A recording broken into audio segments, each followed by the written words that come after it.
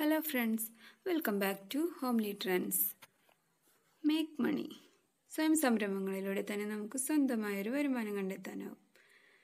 അത്തരത്തിലൊരു സാധാരണ വീട്ടമ്മ തങ്ങളുടെ ഉപജീവന മാർഗത്തിനായി വീട്ടിൽ തന്നെ നടത്തിവരുന്ന ഒരു സംരംഭത്തെയാണ് ഞാൻ നിങ്ങൾ ഇന്ന് നിങ്ങളുമായി പങ്കുവെക്കുന്നത്. നമ്മൾ മലയാളികൾക്ക് ഭക്ഷണത്തിൽ ഒഴിച്ചുകൂടാനാവാത്തൊരു വിഭവമാണല്ലോ പപ്പടം. നമ്മുടെ സദ്യയിലെ താരമായ പപ്പട നിർമ്മാണത്തിലൂടെയാണ് ഈ ഇത്ത സ്വന്തമായി വരുമാനം കണ്ടെത്തുന്നത്. വളരെ കുറഞ്ഞ സാങ്കേതിക വിദ്യ ഉപ ഉപകരണങ്ങളൊക്കെ മാത്രം ഉപയോഗിച്ചുകൊണ്ടാണ് ഇവരുടെ നിർമ്മാണ രീതി തികച്ചും നാടൻ രീതിയിൽ. അപ്പോൾ നമുക്ക് നിർമ്മാണ രീതി ഒന്ന് കണ്ടു നോക്കാം. ഇതാണ് മെഷീന്. ഇത് നമ്മൾ മാവ് കുഴച്ചെടുക്കാൻ മാത്രമാണ് മെഷീൻ ഉപയോഗിക്കുന്നത്. പിന്നെ ഉഴുന്നുമാവ് വെച്ചിട്ടാണ് പപ്പടം തയ്യാറാക്കുന്നത്.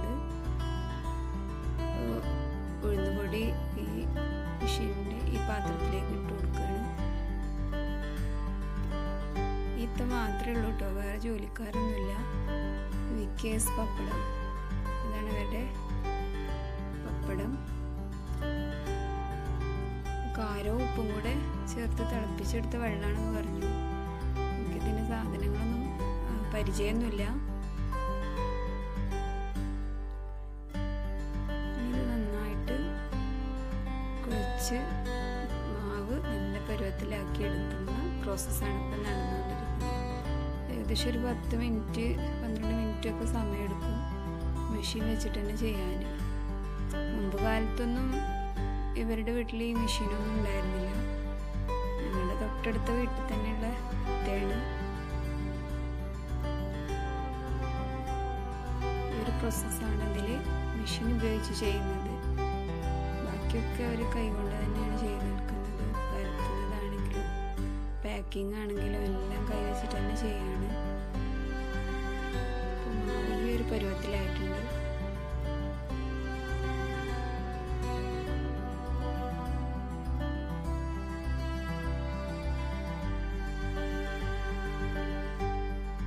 മാവ് ഇവിടെ റെഡിയായി എന്ന് പറയുന്നത് അപ്പോൾ അതിന് കുറച്ച് ഭാഗം മാറ്റിയെടുക്കണം. അതുപോലെ നന്നായിട്ട് കുഴച്ചെടുക്കണം. ഇത് നമ്മൾ ചപ്പാത്തി മാവിന്റെയും പൊറോട്ട മാവിന്റെ ഒന്നും പോലെ കേട്ടോ. ഭയങ്കര ടൈറ്റാണ് മാവ്. കുറച്ച് ഓയിൽ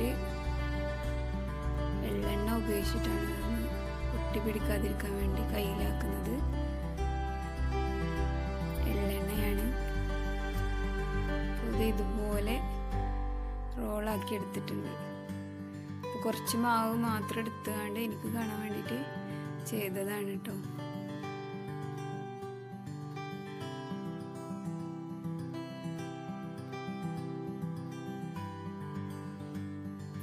ഇതുപോലെ ഒരു പപ്പടം തയ്യാറാക്കാൻ ഉള്ള വലിപ്പമാണ് ഇപ്പോൾ ഇത്.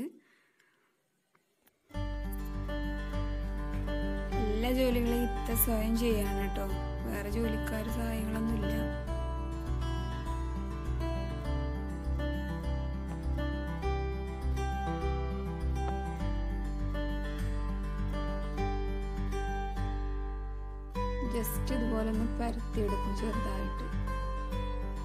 ഇനി അതിന് ശേഷം പപ്പടത്തിന് വലിപ്പത്തിലുള്ള പരത്തിൽ കോയിൽ ഉപയോഗിച്ചിട്ടല്ല.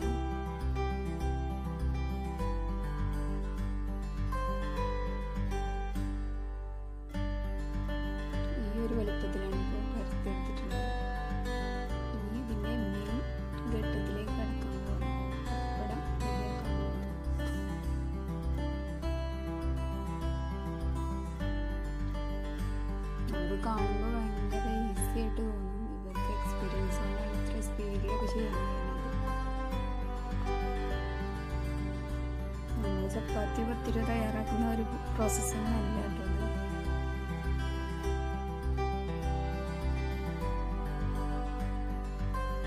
ഉഴുന്നുമാവ് വെച്ചിട്ട് തന്നെയാണ് ഇവരിത് തയ്യാറാക്കുന്നത്. ചില കമ്പനികളൊക്കെ ഇപ്പോൾ ഉഴുന്നുമാവിനൊക്കെ വില അധികം അധികമായതുകൊണ്ടൊക്കെ മൈദയൊക്കെ ഉപയോഗിക്കാറുണ്ടെന്നൊക്കെ കേൾക്കാറുണ്ട് എന്തായാലും നല്ല നല്ല പപ്പടമാണ്. പുറത്തുനിന്നൊന്നും പപ്പടം വാങ്ങിക്കാറില്ല. ഇവരുടെ വീട്ടിൽ നിന്ന് വാങ്ങാറുള്ളൂ നല്ല ടേസ്റ്റുള്ള പപ്പടമാണ്. ഇതാണ് ഇപ്പം ഇതിന്റെ പരത്തുന്ന ഒരു രീതി. കൈ തന്നെ പരത്തിയെടുക്കുകയാണ്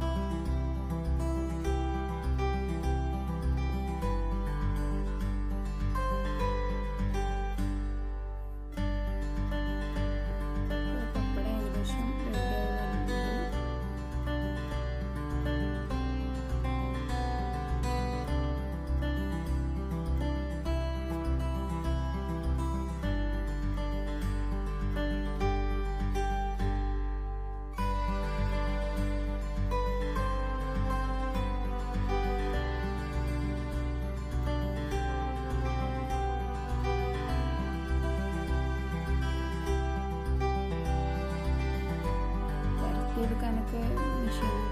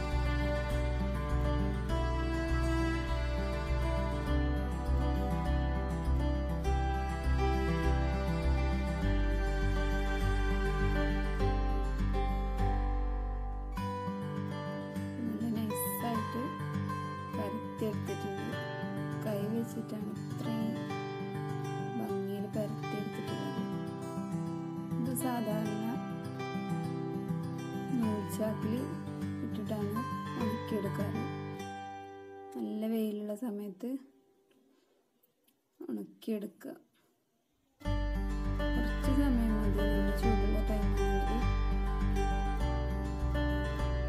അത് ഉണങ്ങി വന്നിട്ടുണ്ട്.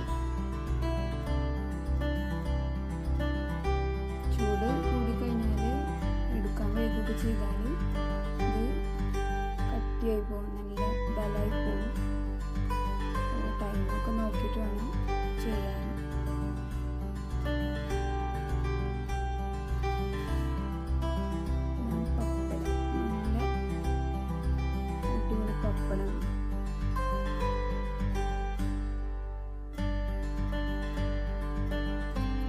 കുറവുള്ള പപ്പടമാണ് മാറ്റി വെച്ച് വെച്ചിട്ടുള്ളത്